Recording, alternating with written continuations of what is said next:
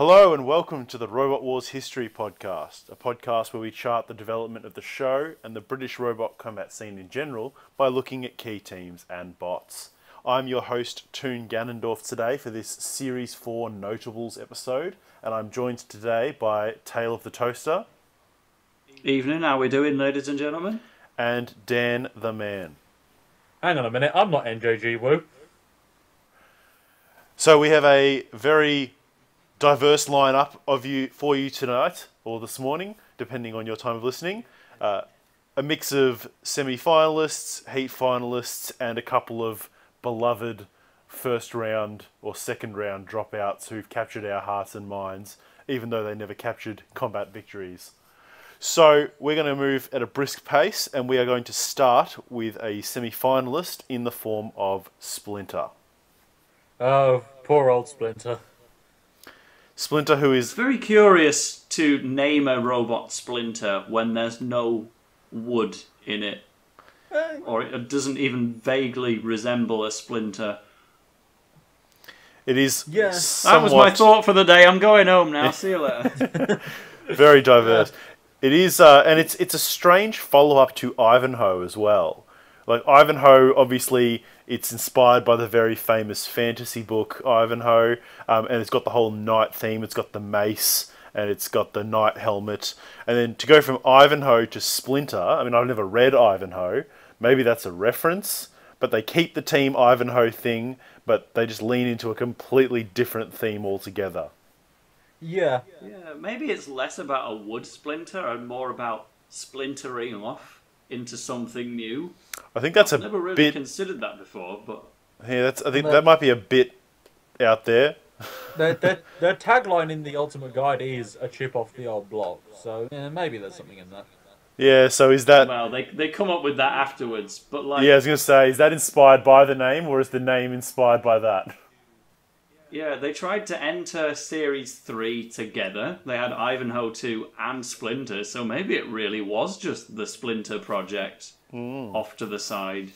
Well, we're only four minutes into this podcast, and already my brain's expanded. Yes, it's Yeah. all about it's all about knowledge and the acquisition of knowledge here at the Robot Wars History Podcast. So Splinter, having qualified for Series Four, uh, is put into what we would probably argue is an opportunity heat. Uh, it's up to you, depending on how your expectations are of kilohertz at this point in time. But it's in the Wow. Centurion, Small Talk, It was an opportunity heat, alright. Yep. Four kilohertz. Yeah, that's a good point. Not even getting a, contact, a combat win at that point in Robot Wars. Yeah. But, uh, well, we'll get to that. So the uh, the Poor first round melee with the uh, seeded Centurion and Small Talk, who are supposedly Small Talk and Splinter are going to team up against Centurion. Splinter spends the entire fight bullying Small Talk, and yet Centurion loses anyway. It's uh, a wild ride, Yeah. Heat I Eliminator. That's uh, slightly questionable, you know. I mean, I mean, it's fucking small talk. It's like the the the nadir of of. Well, is it even the nadir of Team Talk? I think Hippopotamus is. Either way, um, it's uh, it's probably you know Splinter gets to to really dominate, I suppose, in this first fight. Like, it's a good, pretty good showing for it, all told. Hmm. I like I do like Splinter's design. It's something very different. Like you know, Series Four has always been my favorite. You know, series for just the diversity of robots we got. Like by the time we got to Thermidor's Heat, we had a front hinge flipper, a rear hinge flipper, a cutting disc, an axe, and a put and a rambot. Like we had, and then we got you get like your Splinter. Thermidor Two's got like um, claws. So we end up with Spawn of Scutter later on. It's just got such a diverse range of weapons in the semi-finals. I think the only one that doesn't, the only kind of weapon not represented in the semi-finals, I don't even think there is one. Like we've got axe, Yeah, do spinners, you count a hammer flippers. as separate to an axe? Yeah, not really. So it's Um, really diverse. Yeah, yeah. You, you've got a frigging mousetrap as a weapon in the Yeah. semi-finals. For Yeah, you got sake. you got an axe bot, you got a, a thwack bot, um, just all all sorts. Whereas you know Yeah. other great series like Series Seven, they're almost all flippers. Series Yep. Six, There's a it's like lifter the as well, same. Panic Attack. Yep. Series six, it's like the same robots we've seen a billion times, so like that can Yeah. only be so exciting. Um, I suppose And then vertical the fly reboot is the all- closest. Yeah. The reboot's all spinners and flippers. Just yeah. that. Yeah, get- like all Series 4 doesn't have is a vertical spinner. Take that, BattleBots. Ah, Pussycat, But, uh, kind of. yeah, that's a cutting It's a disc. cutting it's disc. different. Yeah, it's too small. But, uh, yeah, I mean, Splinter's design, I can't unsee the baby bonnet. I have to admit, it's just kind of. Uh, it was pointed out to me not by myself, but as soon as I saw it, I, it, I couldn't let it go. Is it possible to point something always- out to yourself? Um, that's a very good question. I'll come back to you with an answer on that. yeah, give me an days. answer on Splinter's name origin as well. Yeah. See, see, but uh, to something me, I like. uh, no. Go ahead. Nope. I refuse. All right, then fuck it. I uh, would be splintering back to the original topic. Okay, yeah. See, see, to me, Splinter, like, to me, it always just looked like that, kind of like that Thunderbirds vehicle, the Firefly. Oh yeah. I mean, I thought more of Behemoth when I played with my own Firefly toy at home. Well, for me, it was both. But true. We needed we needed a robot that resembled the mole. We did. Ming Dynasty didn't quite cut it, unfortunately. No. Yeah. But um, so we'll move into the, at least the second round. But the last thing I want to say about the first round melee, which amuses me, is that out of Splinter, Small Talk, and Centurion, the seeded robot is Centurion, which has like one win to its name. Yeah. It, was, it didn't even do particularly well in the second round of Series 3. You put that against the other robots, Small Talk did just as well in Series 3 as All Talk. It got to the second round decisively, and did well, and had the World Championship as well. But then it even had a Series 2 heat final, and so did Splinter. Yeah, I just realised that as well. The Seed is the So only like- one who did not reach a heat final in its life. Yeah, it was the least qualified one to be there. But Wow. that's Presumably why they it didn't- fell in the end. Presumably, they didn't give it to Small Talk because Small Talk is Small Talk. Hey, I actually don't mind they small talk. I don't get the hate for small talk as well. Yeah, sure, it's not that good, but you know, it's it's harmless. I actually quite like it. It's a proper pioneer of the modern design. It's just a really compact robot with a vertical spinning weapon, and you know all the all the internals are packed together. It could, hmm. I think, it was invertible as well. It could have genuinely been really good had it not just caught fire all the time. Well, we could be talking about small talk on this podcast in an alternate universe, couldn't we? yeah, How does how does Splinter actually beat Kilohertz? Because this is a fight that I Splinter doesn't have damage potential or KO potential. There's no pit release button. Uh, it's just sort of I just remember Splinter pushing Kilohertz around and then you know Kilohertz is lost. It's like that that meme where it's like you know push Kilohertz around question mark question mark question mark profit. It's like I don't get Uh, the plan. it got uh, Kilohertz got uh, got pushed. Uh, oh no, Kilohertz drove itself into Shunt CPZ. Uh, Shunt then damaged it, and then Kilohertz was stuck in forward drive. Uh, that doesn't sound like Kilohertz at all. Fire. So it died in the most Kilohertz way possible, basically. Yeah.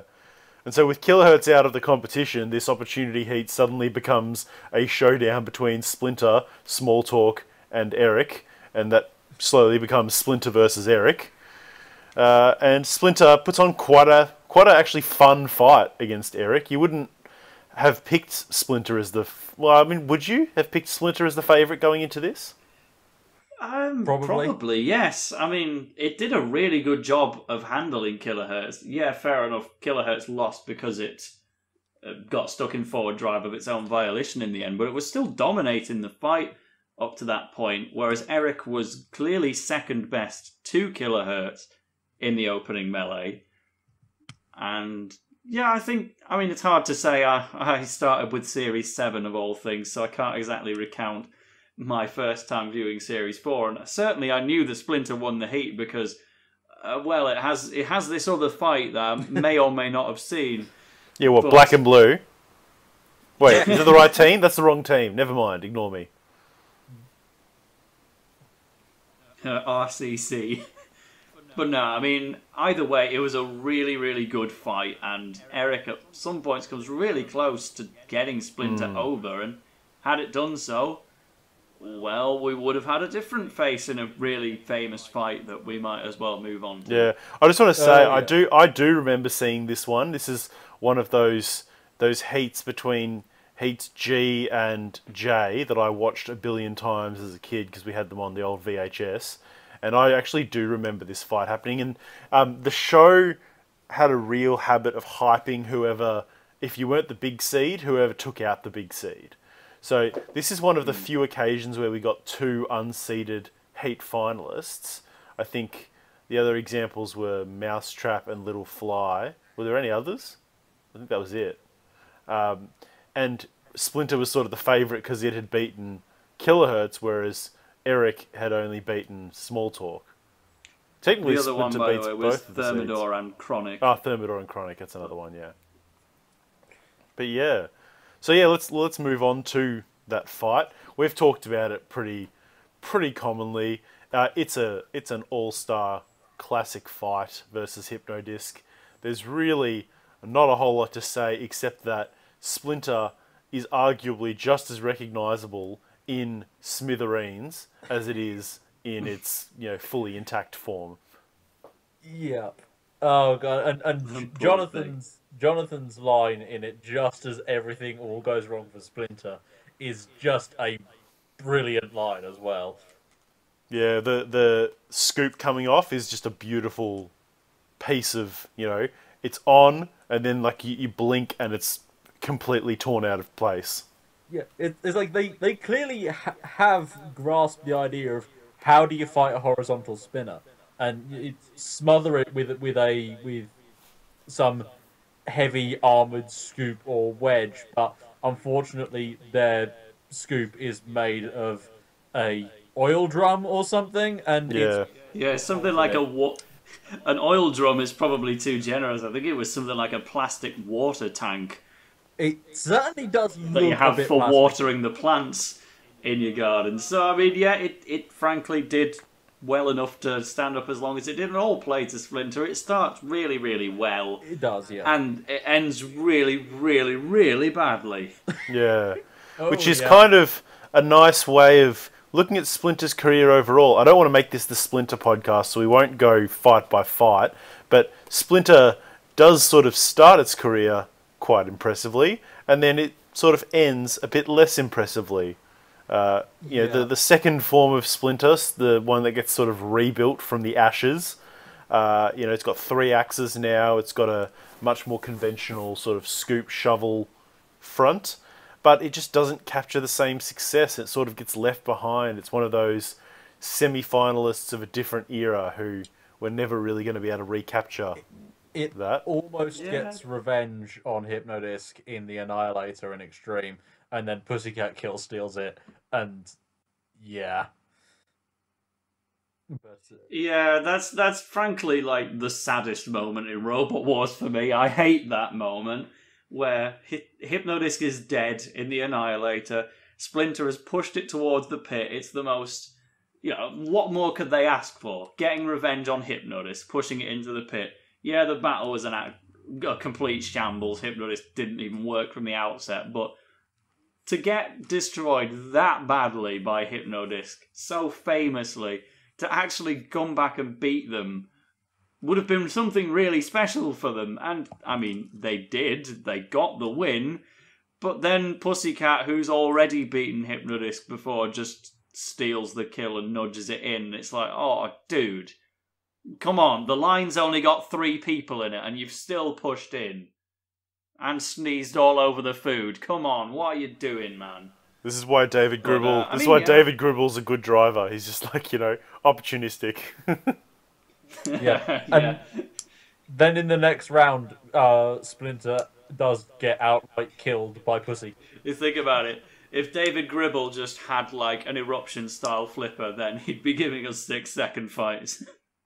Pretty much, yeah. what a what a dreadful thought. I mean, yeah, but Splinter gets third in the Annihilator, and that is that is good because it goes past the likes of Thermidor and Exterminator and Hypnodisc, and is generally beating Pussycat in all of the rounds individually as well. It just doesn't manage to on this occasion when it gets its aerial sliced off. But Mm. it was one step away from an Anni- Annihilator final, and that would have certainly solidified its career as somewhat back on form. Yeah, it would have made up for the fact something of a that theme with this episode. it may make up for the fact that it should have probably lost to Agrobot and Killertron, considering it was I think the only robot ever successfully semi-immobilized by Agrobot's weird design. Uh, But you know, then- it's kind of like a, Yeah. a reverse Just Splinter Thermidor. and Razer. No, no real important robots here. Yeah, it's kind of like a reverse Thermidor, isn't it? Splinter does well in the Annihilator after doing terribly in the Mayhem. Thermidor does amazingly in the Mayhem after doing terribly in the Annihilator. Well, no, and then going to do terribly in the Annihilator. Yeah, and Yeah. then for Series Five, Splinter gets a Splinter gets drawn against Viper 01. Which is Which is- possibly the most forgettable fight in Series 5, contender for Uh, it. Well, there's there's plenty of forgettable round one fights in Series Five, and I think the those fight those fights being so forgettable are why Series Five is so popular with people because we just don't remember the crap ones. We, we, we think of Series 5 and we go, oh yeah, that one with Wild Thing versus Chaos 2, that one with, with um, Bigger Brother Hypnodisc, that one with, uh, you know, all these other great Wheely Big Cheese and Axor. forget the heats. Um, but speaking of Bigger Brother, uh, that's where Splinter's Robot Wars journey came to an end. It got yoked over the. Yeah. That was kind of it.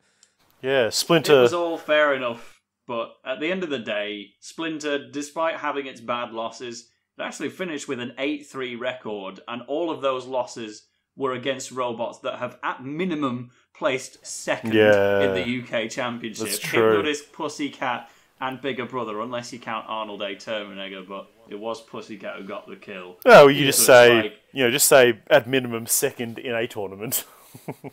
if you really want to water it down to make yourself feel better. So, you know, Fluffy's lost to Infinity, but it got second in the tournament. So. there you go. Yeah. Uh, Um, all right. Well, that's so good for Splinter. What's your favourite fight? Is everyone just going to say Hypnodisc? it's uh, yeah. Yeah. I think the worst one is probably the Mayhem, or arguably the round of the Annihilator where Hypnodisc gets eliminated. That's a pretty bad fight. Oh, Uh, Viper Viper 01's pretty the, bad. The second place choice would probably be the second round of Extreme One Annihilator. Okay, that's a low key There choice. The one where Exterminator goes out. Yeah, Okay. it would have been an even better fight if Exterminator didn't go out, but uh, well, that's just my opinion. Yeah. All right. Good hustle on Splinter. It was subsequently sold to a Dutch team uh, and fought around, but then it got badly destroyed by Terrorhurtz, and uh, I think they retired it, didn't they? That was the end of Splinter. Yeah, they got destroyed by 259 in a Series 6 qualifier, which is just further bad luck for them. And then, yeah, didn't qualify for Series 6 or 7 and got retired by Terrorhurtz and Dominator. I think it was Dominator 3, actually. Terrorhurtz probably wasn't there, but yeah, Splinter didn't have a good life after it disappeared from TV. Yeah, I mean, it's Yeah, like with a name shame. like Splinter, it was really just tempting fate. It was. Yeah. All right. Well, before we move on, let's just quickly, because we're on Heat I, let's do Eric now as well, because that's on our list, and we've sort of covered a little bit of it, so we can quickly round them off before we move along. Yes. Guys, I've got a joke for you. Eric. Ha ha ha ha ha That's a fake laugh. It's real. yeah. It's a Eric sure is a robot. That is a it is a thing that exists. It is a thing. Uh, yeah. Yeah. Anyway, so Eric, uh, good, good enough looking robot. It's kind of like Razorblade's more attractive sibling, in my opinion. Yeah. Oi, Razorblade looks way better. I look, I like. I like Eric a lot better than Razorblade. It's they're quite similar in many, many ways, but um, yeah, I'm always a big fan of Eric. I like the way it looks. I like the dual use of its weapon, um, and I just love like the way that it sort of conducts itself in fights. Just all of Eric's battles, I find myself saying, "Oh, that looks good though. Oh, that looks nice." Like the shot of Kilohertz axing their wheel, the shot of them backing into the pit against King Buxton, the shot of them overturning All Talk, that shot of Splinter pushing Eric into the wall where it sort of mounts up a little bit. It's just Eric's a very photogenic machine. I just dig it. Yeah, it, it doesn't Yeah. look bad. I do like the uh, the fire pattern on it. The thing I like the most about Eric is that it's actually quietly really innovative and nobody noticed because I'm sure many people li- listening to this podcast will be familiar with the most recent season of BattleBot and how Team Whyachi's Hydra became very well known for innovating something we'd never seen before the hydraulic flipper, where we thought, okay, hydraulics are only used to slowly crush or lift things. It could never make a flipper. And then along comes Team Whyachi and they just make the most powerful flipper in the world using hydraulics. And we all thought it was a world's first. And it's certainly the first to do it to that kind of level, but there is one more hydraulic flipper in this world, and it's actually Eric. Well, And you just wouldn't be able to tell, but it, it genuinely did use a hydraulic system because it wanted to flip and crush at the same time. And the funny thing about it is the the new owners of Eric once once they got it, uh, hydraulic flipping systems are banned in the UK, so they had to take it out no, and swap it for a more conventional pneumatic system. Well, because Eric was just so Eric- dangerous, they couldn't have Yeah, it. exactly. yeah, But like, so Eric was about 80 kilos in Series 4. By the time they were done taking out the hydraulic system and putting in a pneumatic one instead, it weighed 50 kilograms. Jesus fuck. So it's like Eric had a 30 plus kilogram weapon, and it's like, oh, okay then. So this was real serious business. How come it didn't manage to flip Splinter over then? Yeah, or Destructible. True. Did it flip anything? Small talk. Small Yeah, that's talk, it. yeah. Wow, it, it flipped a tiny invertible robot. Which is exactly what Hydra couldn't do to Minotaur, but uh, uh, uh, hmm. sadness. So yeah, I think Eric ne- Eric now owned by a friend of the podcast, Anthony Murney. Is that correct? Yes, it's been through a couple of owners, but it's it's in good hands now with our with our friend Anthony, and he's I'm sure he'll do something with it. I don't think it's it's quite in need of returning to the war zone. We know what happened when it came back for a bash in 2016. It, it got the bash it was coming for. Uh, thank you for that one, Gabriel. That's Yep. footage for the ages. But yeah, I mean, I've seen Eric in person under Anthony's ownership, and the poor thing looks mangled to high heaven. Yeah, But that's like the. but it could have been mangled worse. It could have been mangled worse if it had completed that flip on Splinter, because then it would have been the one fighting Hypnodisc instead. Yeah. We wouldn't And- have Eric. Anthony wouldn't wouldn't be owning Yeah. Eric because Eric would be in bits in a bin somewhere. Yeah, be like Worm. Yeah, Somehow, I don't think it would have reached its meme status had it been just torn apart by Hypnodisc. Yeah, the alternate It would, universe. it would be an icon. alternate universe where Derek is the meme instead of Eric. All right, well, so that's good for Eric. So I think probably Eric's best battle. What do you reckon? They're all they're all fairly entertaining. None of them stand out. um, the battle with Gabriel. Uh-huh. Te- technically counts. The the one against King Buxton in Series Three was a good bit of drama for that stage in the heat. I I think it's fair to say that Eric and Kilohertz were the two best robots to fall in the first round of Series Three. That and Smidsy, I guess, but it wasn't really yeah, well, I mean, tuned in at that point. Smidsy, Smidsy wasn't great Smidsy and yet. Bulldog Breed and all those ones. Like I, you just write off Series Three. I think on the merit of the robot entered into the tournament, then I think you're probably right. Eric and Kilohertz uh, up there. yeah, it's the best fight probably Splinter. Yeah, very good. All right. Uh, speaking of, I think you said before doing something with it. Let's talk about Sumpthing. okay. Sure thing. So Sumpthing had a very storied history to say it was a weird looking thing that never really changed all that much. It did go through a couple of different weapons, like Series 3, they start off with a pickaxe, and then they try a circular saw for Extreme in Series 5, and then they go back to the pickaxe for Series 6 again, but if you include the extremes, then this thing managed to be in six series, also while only collecting a single win. but it was in six series. Oh god, Sumpthing is a. It's. I really do like the aesthetic because, but I'm not sure if it if it is just designed to look like a rusted out piece of shit or if it actually was just made from rusty scrap. I feel like that's probably the design that that the team was going for. Um, I mean, it's it's clearly meant to be inspired by the master. I think that's that's fairly Hmm. indisputable.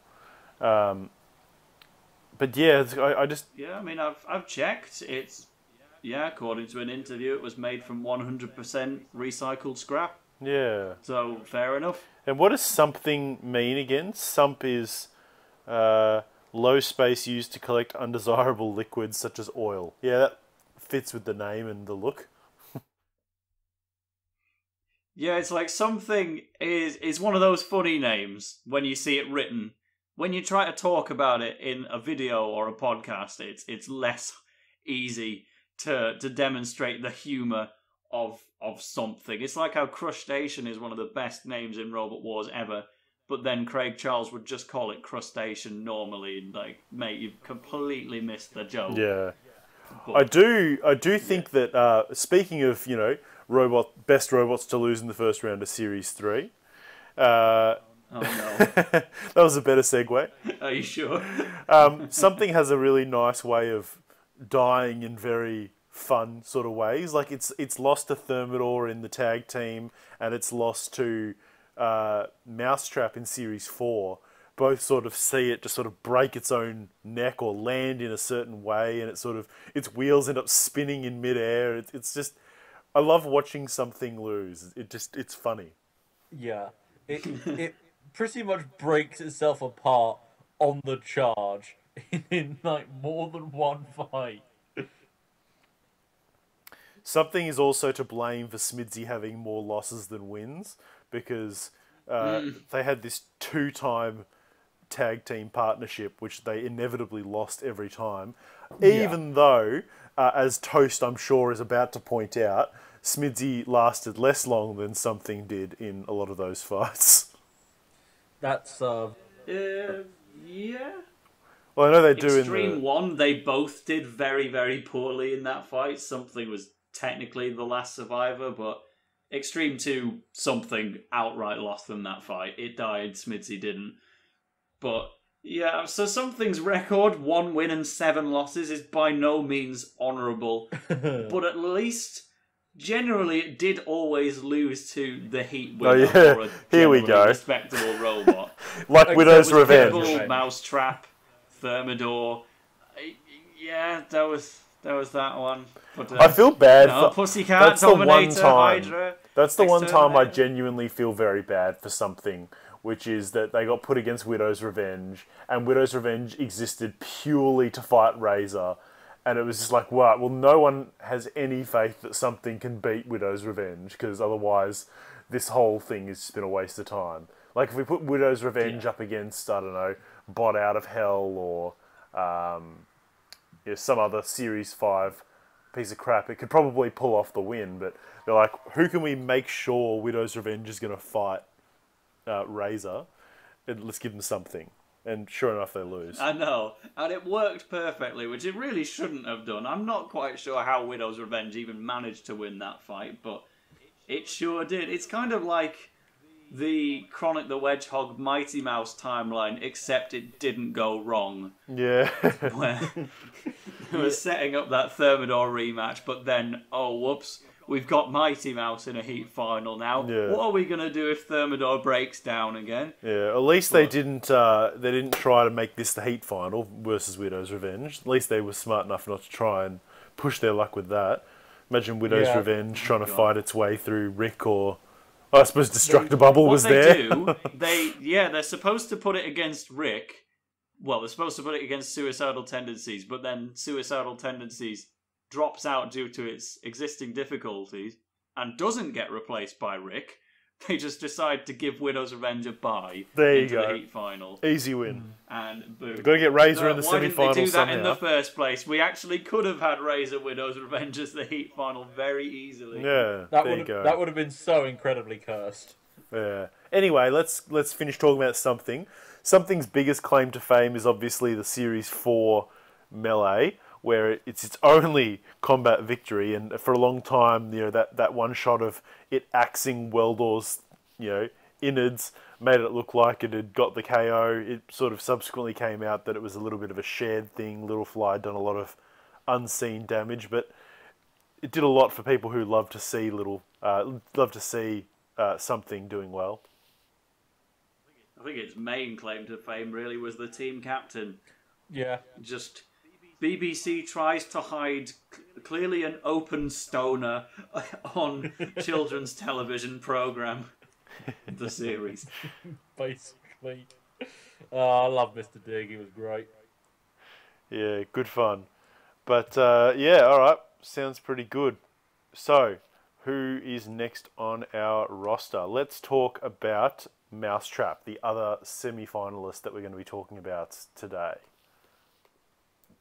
Yes, an opponent of something, but it was kind of losing to something. I'm not gonna lie. Yeah, this and is it was good. Losing its nice first sort of round melee segue as well to Tiberius.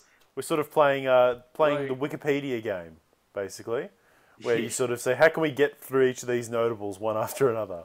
So there you go. Good good connection. So yeah, so it, like you say, it was losing the fight to, to something, and then something sort of was designed. and losing its first round melee as well to Tiberius, and then Evil Weevil just dies in the background. Yeah. Something is sort of oh. is designed to be to be to fight Mousetrap. Like you know that one shot of Mousetrap using its weapon on something. It's just like that just looks like it's meant to look. Like that feels right. Yeah, and there, there, there's even there's even people that actually kind of debate whether Mousetrap deserved the win over Little Fly. Yeah, it's a it's it's undisputably the weakest of the series four semi-finalists, having been placed in the most opportunity heat. And you know what I don't understand about this heat is who was meant to win. Like, don't tell me Evil Weevil was expected to be like the new thing or the new uh, Scutterbot. Like, you know, no one was rooting for another Weevil Weevil heat win. And you've got Tiberius, Mousetrap, Something, and Little Fly. Well, who was gonna yeah, be I mean, heat in my before- opinion, the clear best robot in the heat was Tiberius, but they flunked it, so that was that. That that's that that that's something that you can say about Tiberius very often is that it looks very promising and then blows it. Um, but who was going to be in this heat before the the bump from Trident and Blade not coming back? Uh, so just subtract two. So uh, it would be Bigger Brother and Stinger, I guess. Uh, yeah, I could see them wanting one of those two to go through. Yeah, I think it's still Weldor, but Bigger Brother changes, I guess, and Yeah. that's still a pretty generous heat for Bigger Brother, all things considered. Hmm.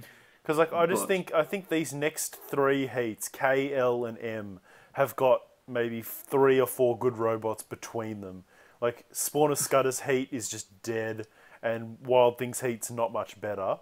Uh, And so then you look at something else like um, I don't know what is it? What is a stacked heat? Tornado's heat is Tornadoes a pretty heat. good one. Yeah. Yeah, that's Um, pretty stacked.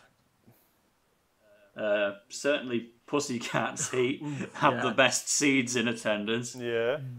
Uh, yeah, I suppose so. And even even you could argue arguably say Steg 2's heat was was fairly good. There was some potential there. Um, Yep. But yeah, you look at those and you think, could you just put one of those robots perhaps in one of these? But now that I'm scanning over it, there are a lot less stacked heats than I remember in Series 4. Yep, that, that's early Robot Wars for Yep. Anyway. So yeah, so uh, Mousetrap arguably probably doesn't get a good fight until its final fight, which is its its loss to S3, which does a lot to redeem Mousetrap in many people's eyes. Yeah, it, it gives a surprisingly spirited performance against S3 and comes really close to slicing into its aerial. Yeah, the blade, the bladed mousetrap, I never really got until I saw the fight with S three. I'm like, oh, that's why you have a bladed mousetrap. Hmm. Yeah, that's cool. I like that. Yeah, and it, it it's a it's a good destruction fight as well. Once S three gets uh, gets free from the hug and just starts Yeah. ripping it apart.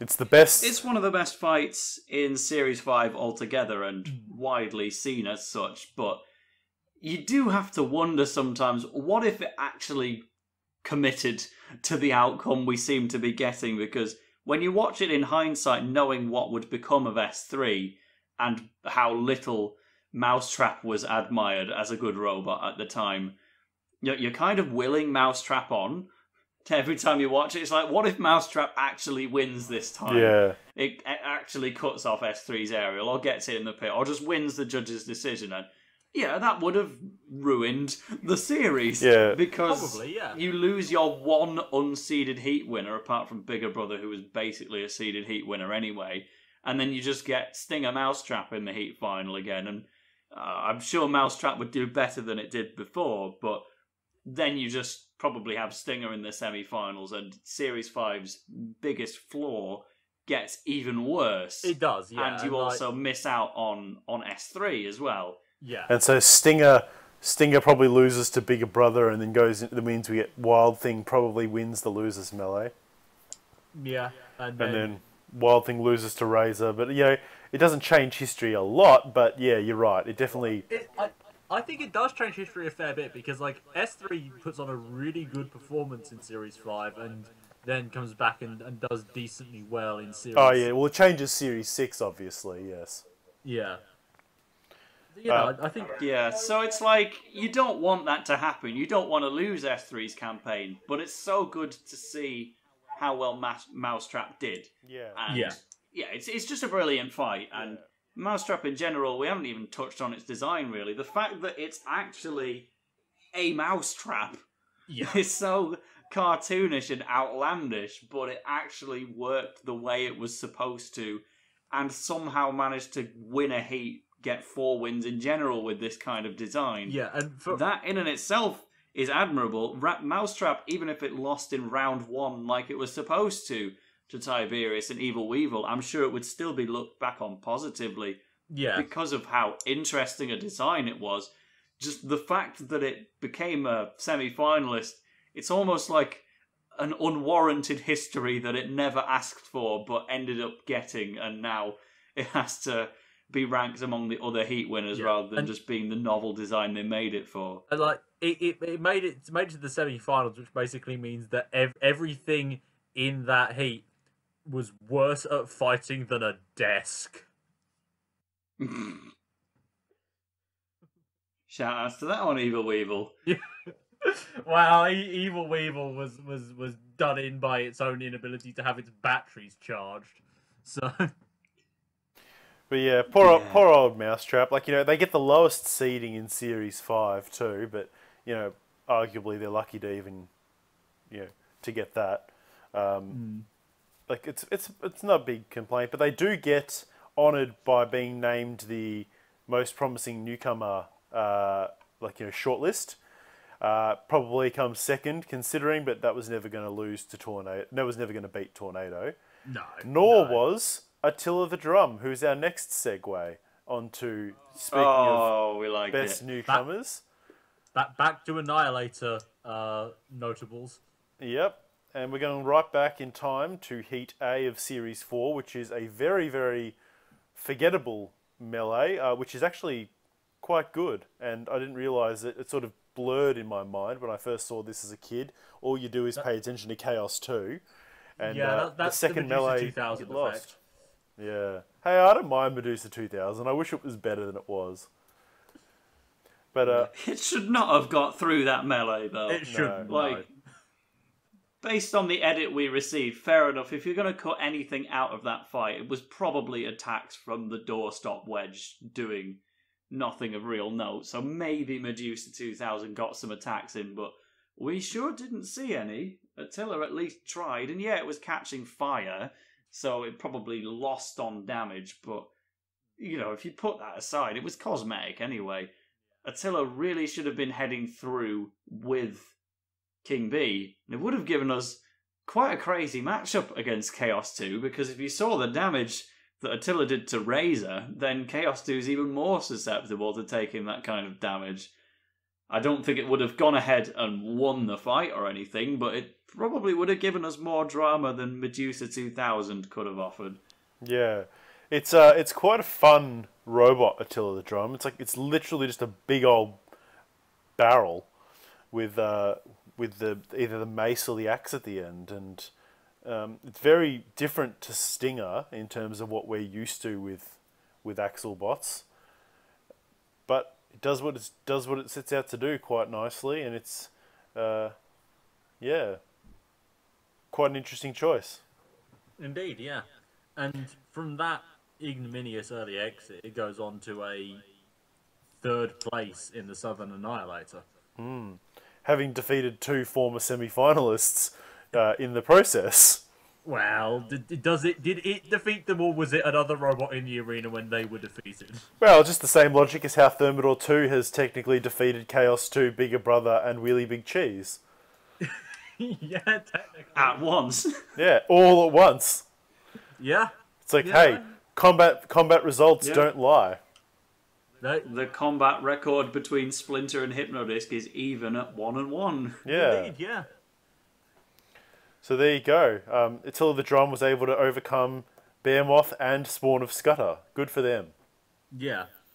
And it, it, it took off Person one of Razer's wheels. is as well. calling me on the phone. It wants to say he was there too. Yes, well, sadly for Vercingetorix. But yeah, I mean, Attila the Drum again. It did more in defeat than it did in victory. In the wins, it was just there, and then in the battle that it loses, that's the one where it famously puts a massive dent in the side of Razer, and stood a chance of making it through to the Annihilator final. It was a real And scare. again- that that one. I remember first hearing about that Southern Annihilator, and everyone was like, "Well, hang on a minute. Razer's Razer's picked apart the three chunky robots that are in here, and all of a sudden we're against an Axel bot that's too big for it to crush, and a robot that's too fast for it to catch." And it's like, "Holy crap! What's going to happen to Razer?" Obviously, it does eventually overcome Attila the Drum, but it became quite a quite a zeitgeist moment for, for Razer fans. Like, oh my god, what are they going to do in this situation?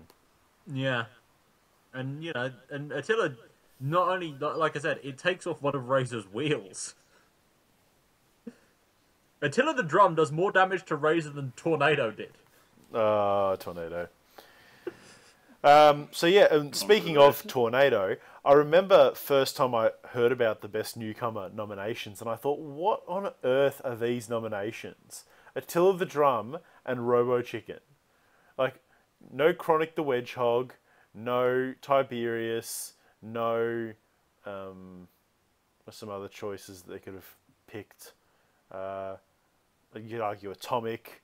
You know, there's there's a bunch of other Heat finalists who didn't get a mention, and they've gone with a first round dropout and a second round dropout. But in hindsight, you look back and you think, well, you know, it's about who's a who's a promising newcomer, and you look at Attila the Drum's fights, and you look at Robo Chicken's fights, and say, well, you know what, they are pretty promising, and they're determined, and sure they were set up to lose to the first, sec- first, third, and nineteenth seed without much, um, you know, chance of going any further than round two, but yet here they are. They they did fairly well, and uh, as Robo Chicken would show, go on to other great things themselves. So I sort of think the criteria is quite Yeah. fitting.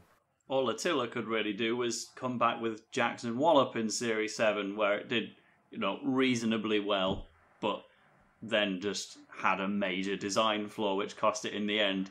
Though But Jackson Wallop is still immortalised by that gash in Shunt's front plough. yeah, there's that. And, you know, the, the design of Attila the Drum was kind of immortalized in the modern era by Nuts, you could say. That mm. was the, the modern Attila the Drum, as it were, with a spinning mace on the end of some chains. And Nuts would also go on to fight Razer, but who did more damage to it? That was Attila. Uh, Granted, of course, Nuts yeah. won, but but Attila got the hit. Yeah, So there you go. yeah, you know. Props to this uh, weird, hairy drum. Um, it's interesting. Um, what you say there about uh, about Attila the Drum uh, and Jackson Wallop, whereas you look at someone like Splinter and Mousetrap, whose successes are so forgettable that I literally thought Black and Blue was the successor to Splinter and not the successor to Mousetrap earlier in this podcast. So at Yeah. least they've got a memorable And so successor. Splinter goes on to be Mutant Splinter in Series Yeah. 6 instead of Mutant Mousetrap. Mutant Splinter, yeah. So speaking of Chronic the Wedgehog, who I mentioned before, let's talk about Chronic the Wedgehog. oh, boy. Yeah. In a way, the kind of ancestor of an eventual champion. Yes. And yet, sadly, their most successful performing version was the Series 4 version, the very earliest version, The the worst version. arguably. Um, Uh, it's kind of yeah. funny. Are Well, there it- any it other had are there any other robots whose first version is their worst version and yet their best performing? I'm trying to think. Uh, Foxic. I was thinking a little bit less obscure than that. Uh, probably, I mean, arguably Mace probably counts. Mm, yeah, Mace is, is Mace two better though. Oh, well, yeah, true. Um, but while we think about that, let's talk about Chronic the Wedgehog. Panic Attack, I guess. Panic Attack. You know, Oh, yeah, that's, champion, that's a but good one. easily the worst iteration of that robot, aside from maybe Panic Attack Gold. Yeah. Uh, Spawn Again, you could argue. You know, the best Mm-hmm. Spawn Again was the only one that didn't make a semi final, hmm even though it's a four way tie for the other four models. but yeah, so we'll Chronic the Wedgehog in such esteemed company as Panic Attack and Team Scutterbots, being their best performance was their initial one, and yeah, it sort of gets a gets a, f- a good victory over Gravedigger, uh, along with Thermidor two, but sort of really was never going to be better than second place in its heat. Thermidor 2 was much more well designed. Like the Chronic's flipper is so thin that it really was almost more of a lifter at certain points. It, yeah, it was. It it it took a long time for Chronic to get a a decent flipper, which is unfortunate. Like it's very rare that you take damage from a flipper, but Chronic the Wedgehog managed it. Yeah. Um, I, I do, however, really have to say the, the best version of Chronic is clearly the Series 5 one, simply because of what it's actually technically called. Oh, yes. Chronic 2 Ellipsis.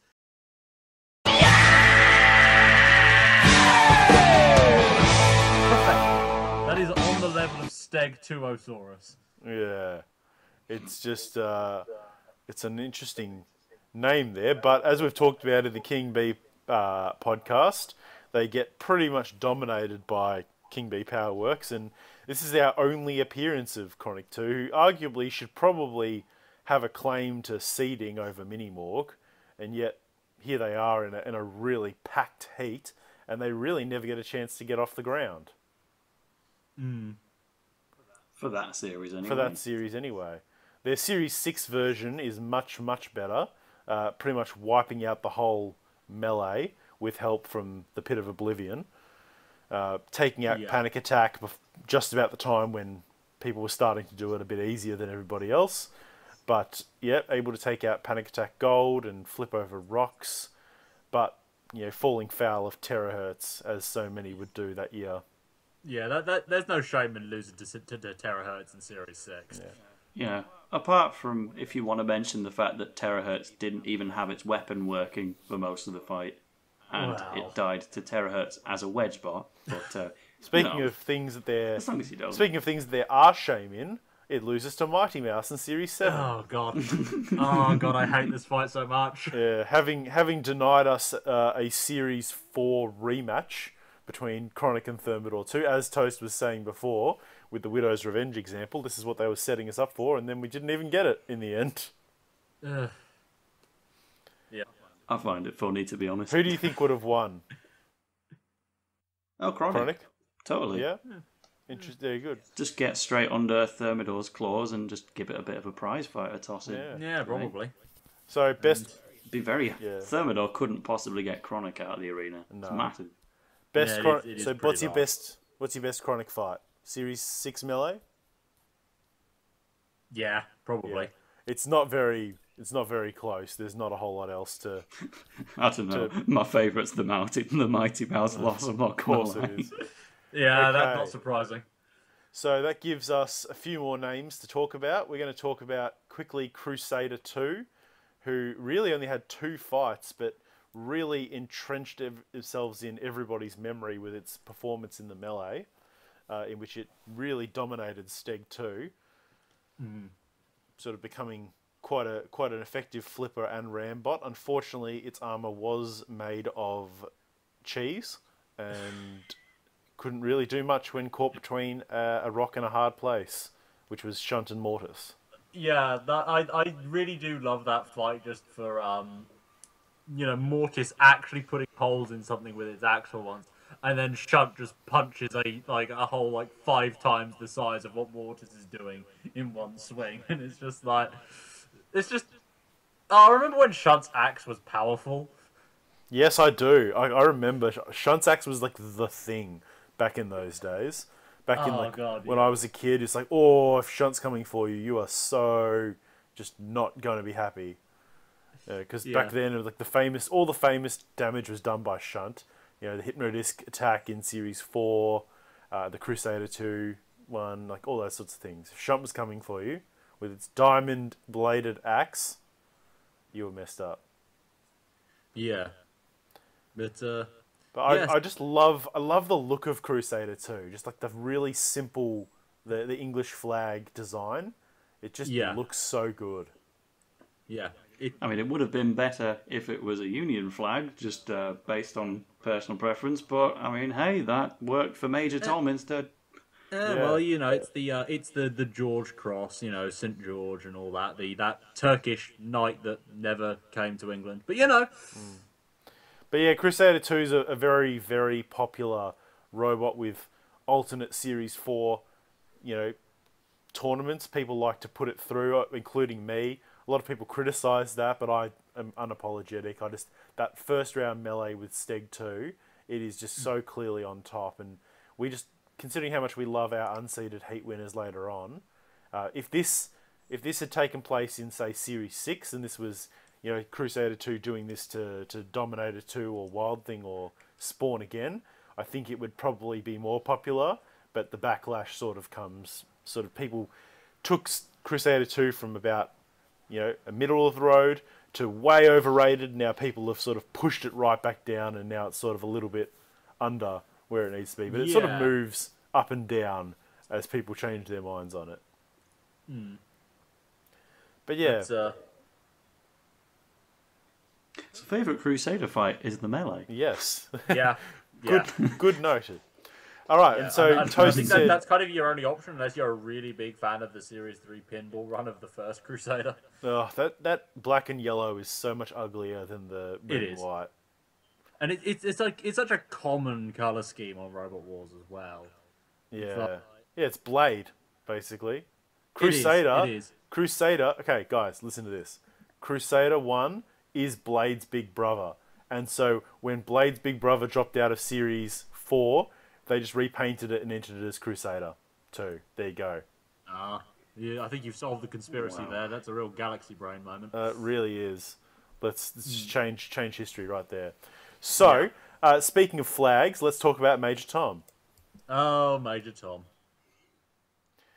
What a fun thing it was. I mean, Series 4 is probably its most remembered campaign just because of Shunt axing its head off. Shunt comes back into things once again. Yep.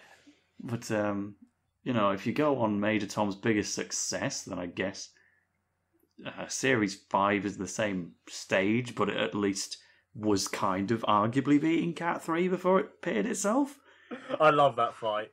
That that is just a, a pitch perfect moment of it of it hitting the pit release and then immediately driving into the pit. Yeah, it's a, it's very popular that one. It was, was voted funniest Yeah, fight in one of the publications, wasn't it? It was in the Ultimate Yes. Yeah. Guide. Um, because at that time, Mute versus Judge Shred 3 hadn't happened yet. Yeah. And neither had uh, yeah Eruption versus Carbide in the Series Nine Grand Final, which I find funny. Shots fired. I believe.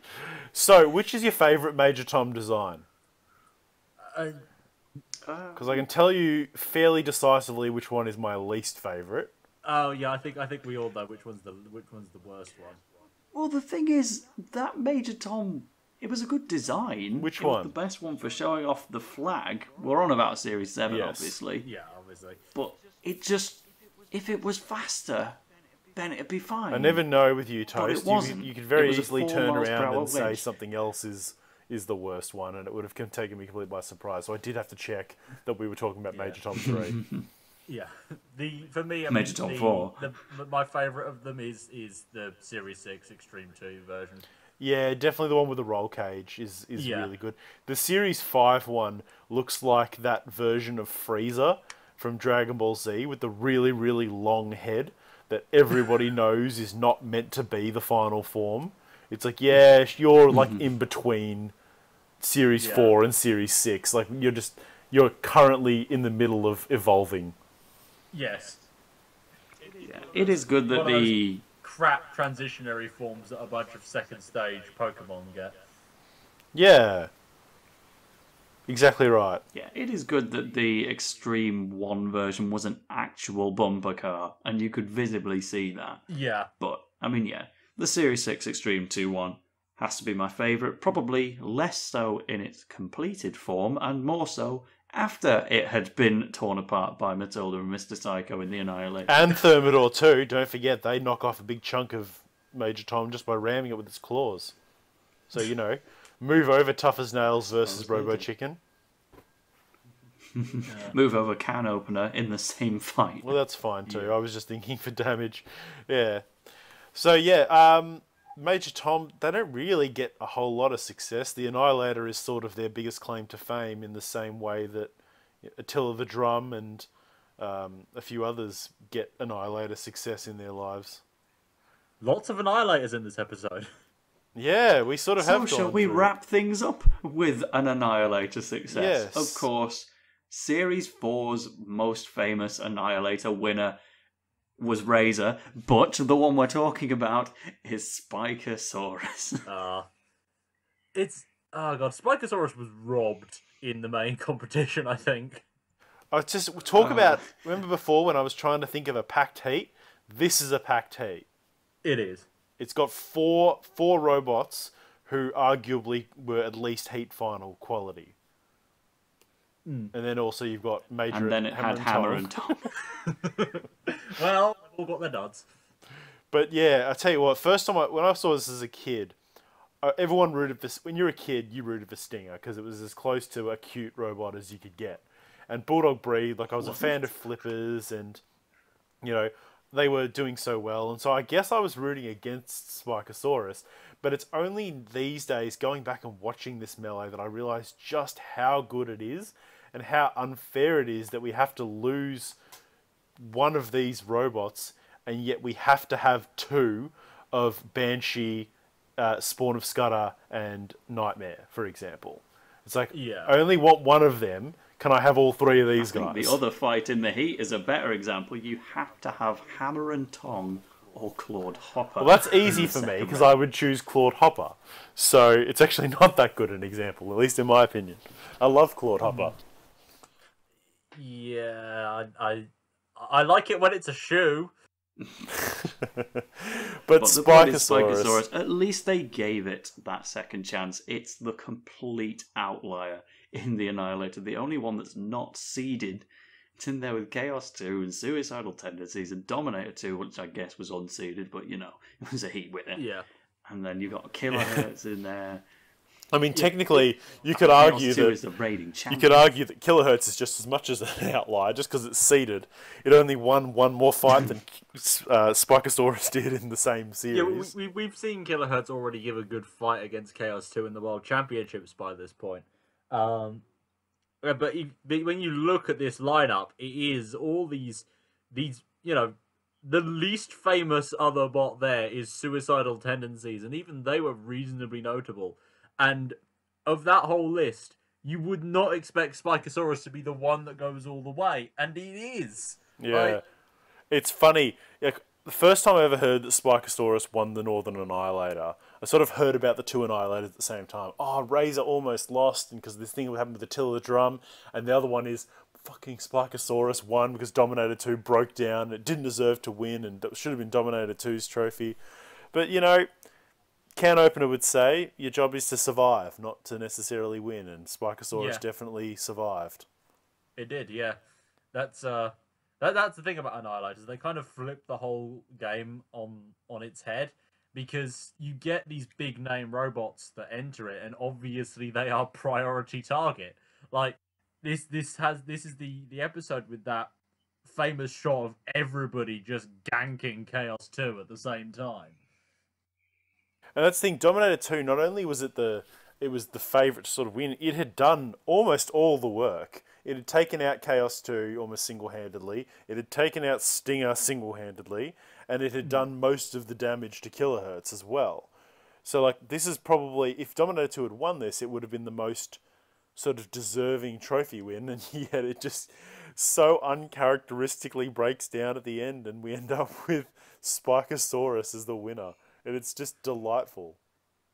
Yeah, I wouldn't have it any other Yeah. way. No, it, it's a uh, it is a brilliant showing for Spikosaurus, and it's the it's the last time we see it as well. Like it gets like screwed over by that that um by the draw in Heat J, and then just comes in, romps through the Northern Annihilator, and then just disappears into the ether forever. They don't even try to enter any of the subsequent um series. They were slated to appear in the Third Wars tag team that was cancelled for the behind the scenes safety uh, concerns. But aside from that, that is that that's all we've got of them. You know, robots whose final appearance was a win. You've got like Eruption and Terrorhurtz and Typhoon 2 and Spikosaurus. Terrorhurtz n- not. Oh yes, it is now. Yeah, because of World Series. Sorry, I've repressed the World Series. That's fair. Um, I mean, you, you, it does You, you got like there, there's a bunch of big names in there, and then there's there's also you know Anty B. That's Yeah, Um, Antmill. it is fun though uh, that um, Spikosaurus's sort of concept design looks very much like a robot that I would have built in one of the Robot Wars video games. It's sort of like that I- big flat dome with the spikes on the side that basically means that it's super easy to flip. yeah, I'm pretty sure I did make something that looked very much like that in Arenas of Destruction. Yeah. And um, it just feels very strange to me that Spikosaurus did so badly in the pinball, considering it's just literally a bumper box with a really top with a really high top speed. Mm, Maybe they're having you know issues with with controlling it or whatever. I think I just got really unlucky. Um, they seem to just get blocked at every angle. But yeah, Yeah. so Spikosaurus, it's a good one to good one to end on. What's everybody's favourite Spikosaurus fight? Uh, can I just say the whole Northern Annihilator? I'm gonna say the melee. I do like the melee more. I wish, I just wish Spikosaurus had done more. It does spend a lot of its time basically welded to suicidal tendencies, but I do wish it'd done more. Whereas the melee is just a delightful. Like if you don't even know who wins, you're just like, hey, let's just watch these three robots fight, and then who doesn't win? Who wins doesn't matter. Who wins? Just enjoy the fighting. That's why I picked yeah, that that's one. fair. But I, I, I think I would have liked to see Spikosaurus progress from that over Bulldog Breed 2, maybe. I don't know. Or maybe even over Stinger, you because have to Stinger wasn't acknowledge the great fact in that, that, uh, that round. I mean, round one of Northern Annihilator did make the top 10 in the Ultimate Countdown. It did, yeah. There is that. It is true. Yeah. It is very true. So good, good hustle. All right. So that's our that's our ten. Uh, we'll count small talk as the ten because we spoke about that one a little bit. Yeah. So there you go. Yeah. We hope everybody's enjoyed our notables. If you have any notables from Series 4 that you think should have been mentioned, by all means stick them in the description and chat about why you like them. And we'll see you guys next time for another podcast.